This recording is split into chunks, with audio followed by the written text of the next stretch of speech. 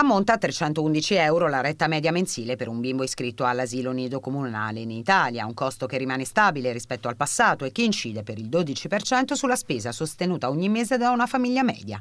Nel 2014-2015 la regione più costosa è la Valle d'Aosta, 440 euro, quella più economica la Calabria, 164 euro, anche se rispetto al 2013-2014 ha registrato l'incremento più consistente a livello nazionale.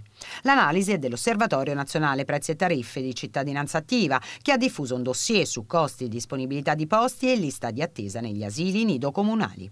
Fra i capoluoghi di provincia, rileva l'osservatorio, solo 14 hanno aumentato le rette nell'ultimo anno. L'incremento record a Cosenza più 117,3%, quello minimo a Trieste più 0,5%.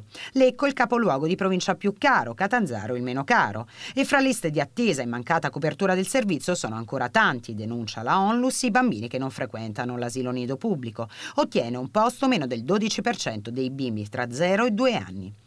Chiediamo di rilanciare nel dibattito pubblico l'adeguamento alle esigenze anche economiche delle famiglie italiane del servizio educativo per la prima infanzia, afferma la responsabile delle politiche per i consumatori di cittadinanza attiva. È necessario prevedere una maggiore flessibilità per i servizi, una revisione degli orari, un'offerta integrata con le molteplici ma disomogenee esperienze di welfare aziendale e di soluzioni alternative.